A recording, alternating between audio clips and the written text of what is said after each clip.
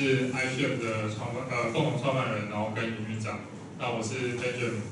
那大家叫我 Ben 就可以。那其实今天来呃，我先简单的介绍一下 iShape，但因为其实我没有打算要跟大家讲 iShape 的事情。那 iShape 我们做的是在用 iPad 上面做的一个餐饮的 POS 系统，就是你们去餐厅看到他们会对一个东西去点餐，然后厨房可以出单，然后可以结账这个东西。那我们把它全部都做在 iPad 上面。那我们做了这个东西之后呢，呃，在去年二零一三年，我们拿到这个呃数位时代台湾当年的新创的第一名。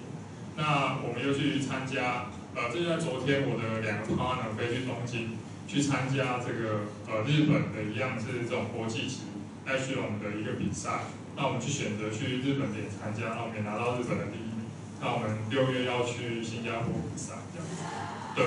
那这个是 H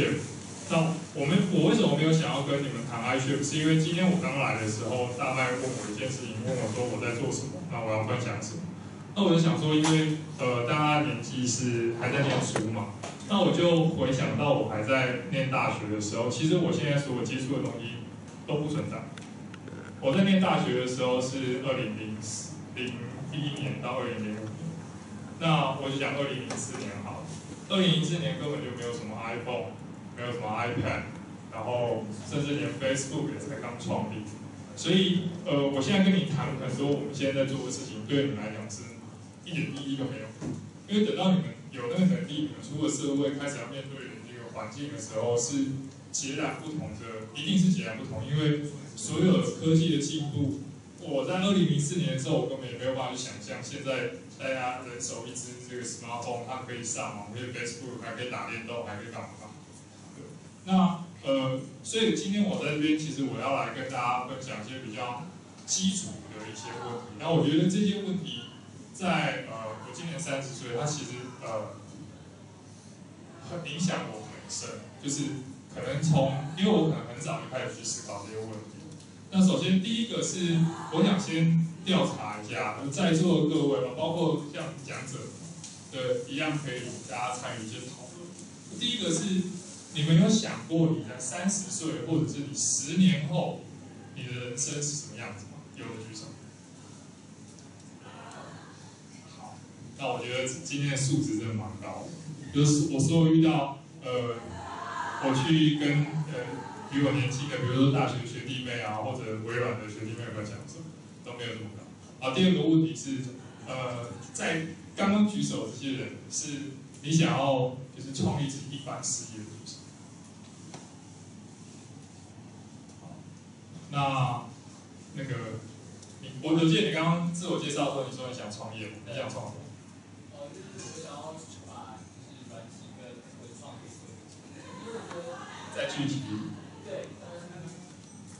我举个例子啊，就是我最近看到一家台湾，呃，我还蛮喜欢的，就是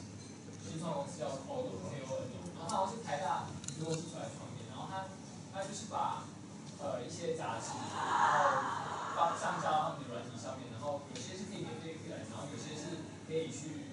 订做订阅，然后他的那个版面设计都用的很温然后他还有设计很多有趣的活动，让不同的读者。可能有些读者喜欢这个剧。我知道时间的关系就不要打断。然后还有没有谁是也刚刚想想创业？你想后？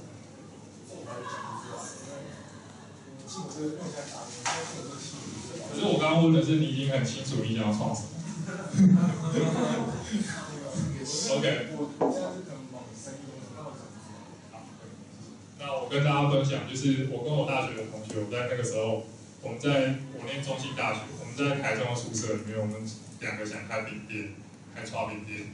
就是我们想要那时候不是博士生卖鸡排很红嘛，然后但是就是一般人想想就算了，就是身为一个商学院的学生，我们就认真去思考，你要怎么卖炒饼可以卖到可以获利。那这是一个第一个问题，就是说你的你的人，你对于未来人生的想象，你可能只是说好，我十年后变成这样子，然后就干结束。可是你你变成那个样子的那个状态，你有没有去掌握？说我从现在到那要做什么？那我我自己的故事是，呃，我大学毕业，呃，我大四大四的时候在微软实习，就是那时候是微软第一届的计划，还是为什么今天会坐在这里。那呃，我在那一年我我在微软实习，然后呃，大学毕业的时候我去香港，呃，去澳门的一个银行，也是做实习的工作。那我在香港、在澳门的时候，我当然这个问题我我问了我自己很多次，包括为什么我在选系的时候，我在呃选择工作的时候，我要选择我我要不要离开上一个工作，做下一个工作，然后创业这些我都问过。可是在在一个不是台湾的环境里面，然后你可能是异地，我认真思考，那个时候其实我只有做想要做一件事，我希望在三十岁，我三十岁的时候可以做一个管理者。我希望带一群团队，然后在这群团队里面，我可以去发挥我认为呃我的影响力，然后带他们做到一个事情，这是很简单。那我我在二十二岁之后下了这个决定之后，我开始在后续的所有人呃人生选择上，其实多半都跟这个，我想做管理者。那刚刚有举手的这些，就是你可能有三十岁的梦想，那我也建议你们呃。回去开始思考，就说你你想三十岁你想变成这样子的人，假设他就是你一个人生的锚点，就说你好你就啪定在那里。那从那个那个锚点回来看的时候，你现在要做的哪一些呃事情，跟另外一个事情是你可能还要更认真的问自己，说那个人那个那样的生活是不是你想要？不要骗自己，就是每个人都想做这个三号。Maxwell 不可能，那你是不是真的很认识 Maxwell？不一定。好，这是第一个问题。那第二个问题就是，呃，我想问问在座的各位，就是你们有没有人生的一些呃信念跟原则是绝对不能被侵犯？有，有八年是什么？有，有。我觉得你你有什么呃原则？就是我我这一条是绝对不允许改变，就是不要做，可我违背良心，然后这良心是很具体的，比如说比如说我们跟政治有点接触，可是如果当天有个大人物，因为我跟他很熟，然后他炒地皮，然后跟我说投了一两万，我觉得那东西是我不能做的，就类似这些事情。OK，还有这个，你的是什么绝对不能？嗯，不要后悔。不要后悔。就是说，我做任何决定或者下任何决定前，我觉得说，我因为我下这决定，所以我不会后悔。好，那呃，大家一定会觉得很奇怪，为什么要问这个？那我觉得，我想跟大家分享的第二个人生课题是说，呃，你的价值观，你的价值体系在哪里？像我自己，就是我的我的价值观跟这个呃胡同学。跟听说说跟听说差不多。那我的最重要的第一个价值是，我希望我是一个诚信。就是为什么我会体验到这件事情非常重要，是因为我呃毕业之后实习之后，我在当然在超商统一超商工作了两年，后来我去大陆，我在大陆工作一年半的时间。尤其在中国大陆里面，呃，现在中国大陆的一个环境。其实蛮，当然机会很多，但同时另外一方面就是大家的人气跟大家的那个呃商业环境是尔虞我诈。那我在大陆的时候遇到两个 case 可以跟大家分享。第一个 case 是我们自己家的公司要不要缴税，就是这个是很多的台商在大陆会遇到的问题，就是大家台商在大陆不太想缴税，就是因为你缴税，你的钱就少赚。可是你不缴税，你有什么办法？税务员一定会来查。这是他第二件事情是做的事情，就是他会去贿赂那个税务。那呃，一直以来我们家的公司都是这样做。那这件事情我在呃到大陆的时候，我我对于他们做一个很深很深的这个级别，因为我认为，呃，你做这件事情就代表一辈子，不是一辈子，这公司的一辈子就要持续的去 cover 这个这个不诚实的东西。你花的成本会越来越大，越来越大。你你今天他的官员他可能会升任，可能会新的人，他会告诉别的人，所以你要一直为了你一开始的不诚信，一直去投入更多。那当下他也没有办法去去不做这件事，但是后来总是就被查，被查，你还是受到一个很很大的呃数以百万计人民币的损失。那为什么我们不在一开始的时候就诚实？那一开始在诚实的时候，你可能你的企业经营上会进会会有很多的额外的负担，你可能会少赚五万，少赚十万人民币。那你想说，我我为了我五万好，我花五千块去买中华烟给那些那些官员，他就不会算我这五万。可你有没有想过，你你五年后你要付几百万、五百万、一千万，因为他是全部帮你算。这是第一个是诚实。第二个是呃，我在大陆学到的第二个价值观是自律。那为什么自律呢？因为呃，我在那时候在大陆工作的时候，也是一个人过去。那我在大陆，呃，这个可能这是一个比较不好的案子，那大家不要学习。就是我有我在大陆认识一个呃很聪明很有能力的台湾人，他是一个台湾的上市公司派过去的一个干部。那他派过去的目的就是他要在上海帮这个公司开市场。那呃，我们到外面去，我们到中国大陆总是会呃，因为人都在外面，所以我们去参加一些 party，我们去去一些娱乐场所，这个很正常啊，就是你们。但是 anyway，呃，自律的意思是说，后来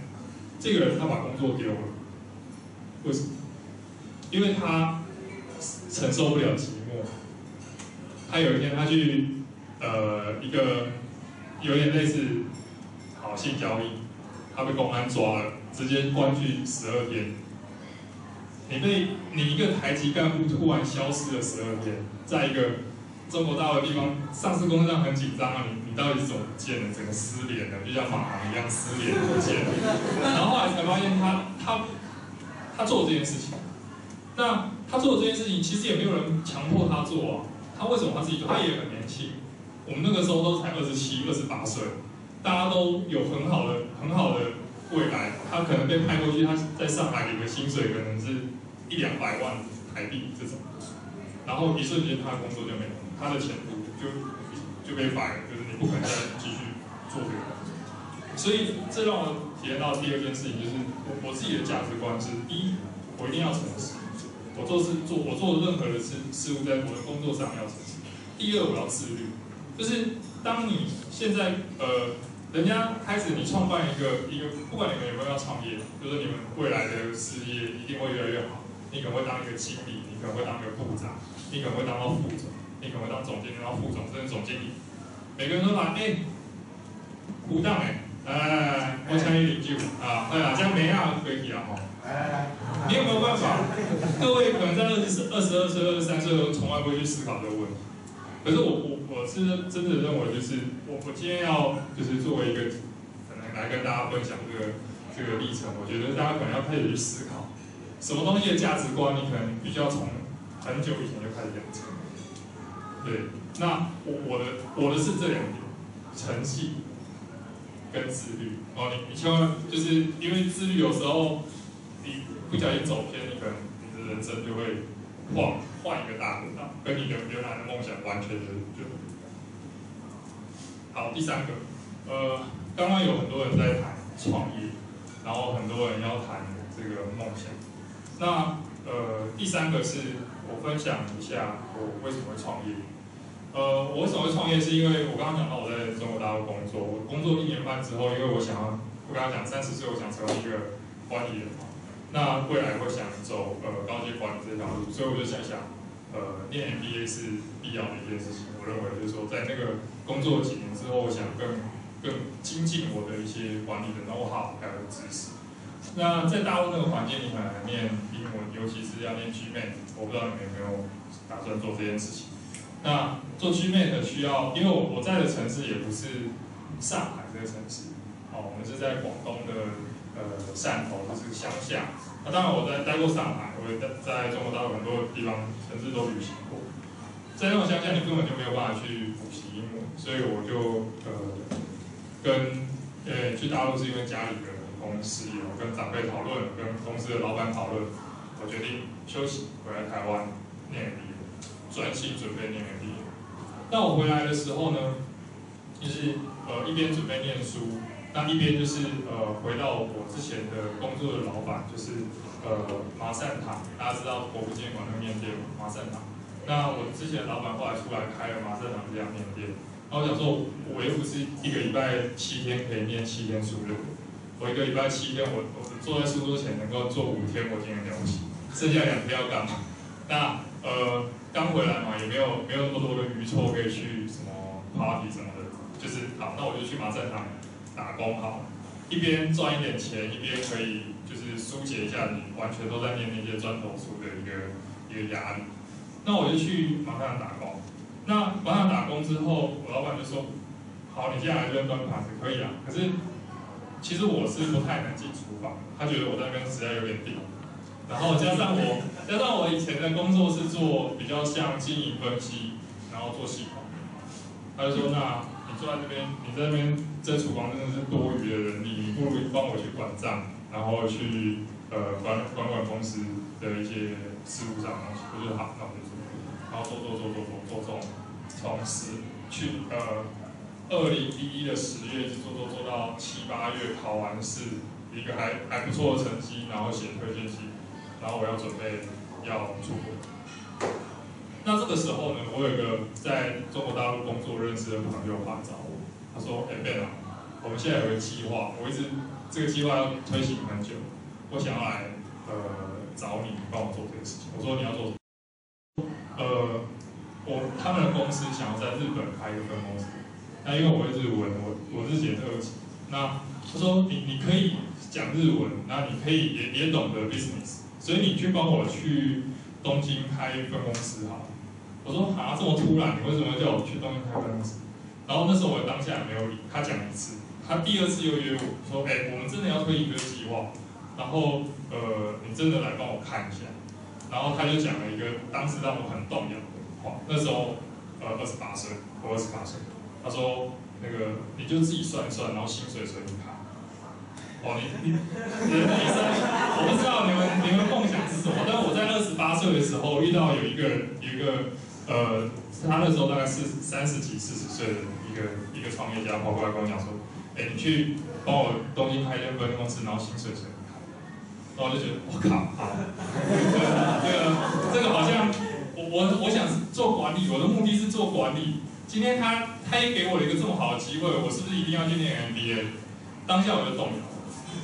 然后我就去跑跑去找我们麻将堂的老板是，他也是我之前的老板，我们就去理说，哎，我收到这样的一个机会，然后他自己现在是说，他当初知道我去找他之后，他就是我我就是想去啊，对，那他说好，那那你去，那过两个礼拜他也打电话给我，他说，哎，啊你既然不去念 MBA，如果你要去念 MBA，我就让你去念 MBA，你不去念 MBA，那你不留下来跟我创业。就跟他一起创业一样。那呃后来的结果就是，我去的那间公司也帮他去做了整体公司的策略分析，那给他一个建议。当然后来就没有去东京了，因为不然就不会坐在这里。后来后来没有去东京，也婉拒他的机会。那我就跟这个安生这边，然后去思考整个 I 选，然后需要找什么样的人，然后需要呃做什么样的事情，最后我们公司成立。那我讲这个故事是，呃，第三个我想分享给各位，就是大家在讲创业，大家都把创业做视为一个创造的活动，追求梦想的活动。我刚刚在跟尹座在讲，说我认为的创业是重点是那个义，不是那个创。创你只要做，大家都觉得是创，可是我觉得是义。为什么是义？义是一种承担跟责任，就是当我们今天创业之后，我们每我们公司现在已经有十五个人了，我每我每一个月要光付这些薪水，就要付掉大概七八十万，可能更多，呃，然后付租金什么一百万，每天你要签出去，就是要签一百万出去，签一百万出去，签一百万出去，然后你去找投资人，你可能要你跟他要的是，哦，我希望你来投资我，你请你拿三千万、五千万一亿来投资我。那这些人在看你要不要投资给你的时候，其实他看的事情是你有没有办法替他承担这件事情。你的公司所有的团队在看你的老板说，你能不能带领他们走向更好的公司的未来？所以，呃，我觉得在创业谈，今天我要来谈创业的最后一个点，就是我希望大家，你知道你三十岁要做什么，你知道你确立你的人生价值观之后，你开始培养你可以被人家赋予重任的能力。这个重这个能力可能是各种，第一，你可能是你的技术；第二，你可能是你的口才；第三，你可能是你的管理。那最后，我相信，其实刚刚有个人讲说，找天使投资人跟拜神一样困难，我觉得没有那么困难。就是以以现在公司的规模来讲，是每个创投都希望拿钱来投资，那只是投资 i s h 只是我要选哪一个，哪一个条件比较好。我觉得是当呃作为一个